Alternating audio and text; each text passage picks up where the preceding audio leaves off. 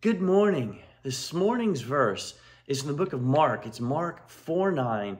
And he said, He who has ears to hear, let him hear. Now, I dug into this one a little bit. And first of all, what we have going on here is we have Jesus speaking to the disciples, and he's telling them a parable. We all know that Jesus spoke in parables, he taught in parables.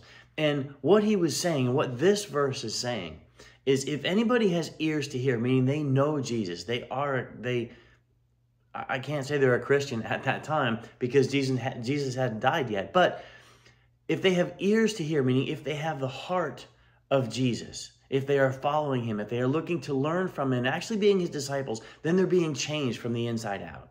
And in doing that, they get ears that are tuned to his voice. And by that, not only can they hear what he's saying, but they understand what he means.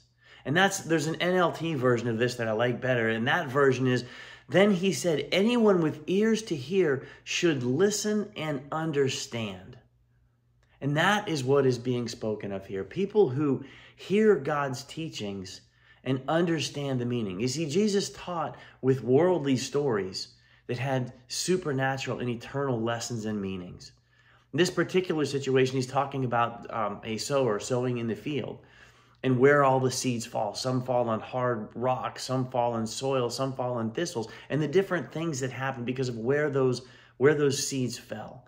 Were the lessons hurt? Did they did they pierce people's heart and change them? Or did they just think it was a story about farming? But what I find so interesting here is this is a verse that speaks about Jesus and his teachings and how he teaches. But as I read this today, it hit me differently. And it hit me largely because of some things that I've been going through. And I've been so busy lately that I didn't get to cover one of my most favorite verses. And it's one of the verses and stories that this entire site is about. But what hit me in today's verse, Mark 4 9, let he, and he said, He who has ears to hear, let him hear. And the NLT adds in, let him understand. So I've had some conversations lately, and people ask, How are you doing? And the responses come back, I'm okay. And they're like, Oh, good, I'm glad to hear it. But no, they didn't actually hear. You know, we go through life and we ask people flippantly and superficially, How you doing? I'm good. And maybe we answer superficially without wanting to get into it. Maybe there's actually a hurt. Maybe there's actually something there that we need to go, No, how really are you doing? I was sitting at work the other day and somebody got a phone call um, about their mom, and their mom had um, had had uh, had headed into the hospital and, and wasn't doing well, and I could tell that they were bothered. Um, I was eating lunch and kind of minding my own business, but I overheard it, and there were people around, and I could see that there were things in that moment. But about five minutes later, when everybody cleared, I went over and said, "How are you doing?" And the response was, "Pretty good." And I said, "No. How are you doing?" And then they told me about the phone call and they had the opportunity to open up and to share. And that is where I find myself sitting in this verse today. I find myself in my life in moments of chaos and confusion and things coming at me so hard and so fast that one, I feel overwhelmed at times. But two, how many opportunities am I missing to be there for somebody else? How many opportunities am I missing what they said and what God is telling me to do. I'm missing both things because I don't have my ears tuned to them because I'm too much in here in my own place, or I don't have my ears tuned to Him because I'm too worried about what's going on in my own space. And in that, I'm just not available for anybody else, and I'm not available for God. I'm not available to go and do the things that He has told me to do, to go and love thy neighbor. Which leads me back to the verse from the other day that I missed. And that is Matthew 18 12. And that is the story of this Facebook site and of this YouTube channel. And that story is this What do you think? If a man has a hundred sheep and one of them goes astray, does he not leave the 99 on the mountain and go in search of the one that went astray? You see, that's what I Am 100 is. That's the story. It's my story. Quite likely, it's in your version of this verse, it's your story as well. When I look around the world, I see people around me who seemingly have it all together. Hey, they're happy. They have fantastic family situations. Their life is good. They quote unquote couldn't be more blessed. And that might not be where I'm sitting. So in that story, I am the 100th sheep. I am the one that's lost. In my version of the story, I look around, everybody else is good. I am a total train wreck. And I know people that have listened to that story and they've heard me speak of this before, and they've said, You're right. In that version of the story, to them, they were the one that was lost. And everybody else seemed to have it together. And the beauty of this verse is that God never leaves any one of us go off by ourselves. We may turn and walk from Him, but He's never turned and walked from us, ever. And so we get to be useful to God. We we have verses and prayers that we say, God, let me be your hands and feet. But let's face it, if we're not his eyes, if we don't have, haven't been given his eyes and ears, and are in those moments available listening for the things that he wants us to do, we will miss the, the eyes and ears moment, and we never therefore have a chance at the hands and feet moment and we never have a chance to love our neighbor the way we're supposed to love ourselves and to show God's love and to love Him through obeying His command to love others. And we never get the chance to run out in the pasture and find the sheep or help find the sheep who's hurting, who needs picked up and carried for a bit, because we simply don't have the ears to hear and understand. So these verses really wrapped together to me today. And and I pray that in this, you'll have that moment where you sit down and think to yourself, God, am I available? Am I listening to you with my ears? And am I listening with my heart and spending time in your word such that I understand?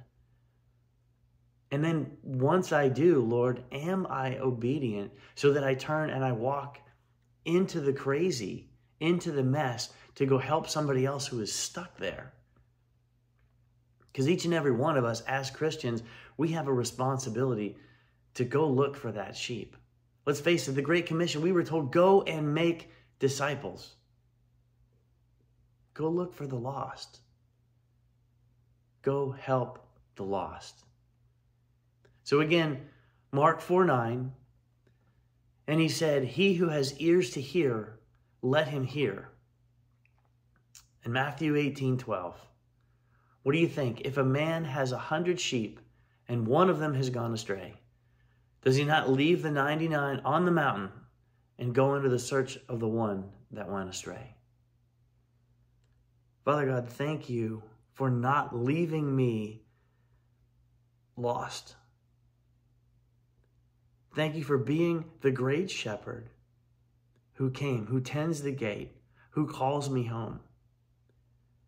Father God, thank you for never leaving me to my own devices, no matter how many times I may get distracted. Father, allow me to be a better child of yours, a better disciple, a better follower, Lord. Help me to learn more and listen more such that I can go and I can do more.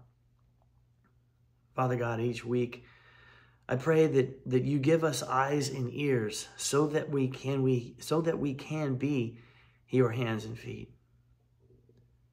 But Father God, that couldn't be more clear to me than it is this morning.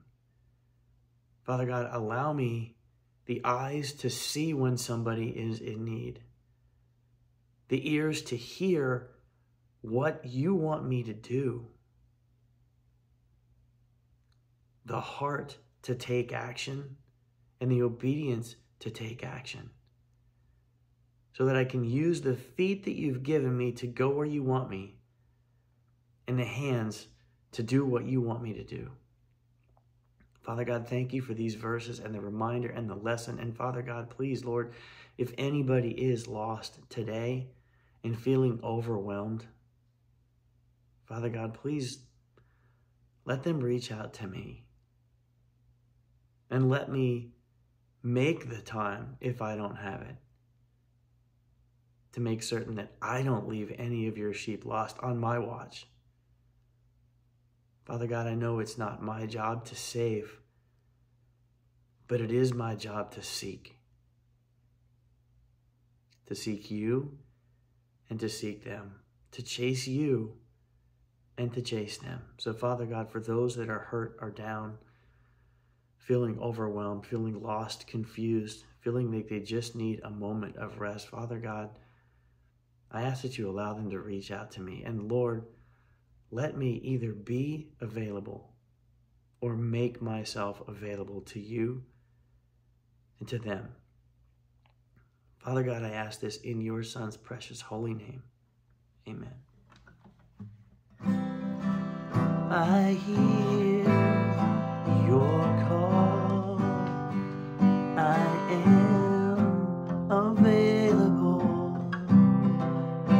I say, Yes, Lord.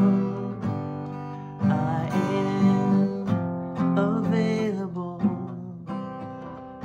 I pray that you take a moment today to go find the person that may need to hear from you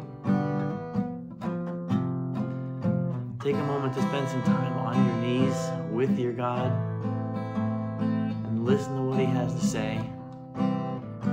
Go where He wants you to go. Remember, no matter how far off the beaten path you may be, somebody is there looking for you and waiting for you. And I promise you that our God is there with open arms, waiting for you to come back home. So go find Him today if it's a tough moment. And go thank Him today if it's not. And if you're in a moment where you feel overwhelmed, then please write back on this site. Let people know that you need a hand and you need an ear, maybe even a shoulder. You can post anonymously on this site, so you don't even have to throw out there who you are and what you're dealing with. If you just need to get something off your chest, do it here. Have a fantastic day. God bless you. He is with you. And we will see you again soon.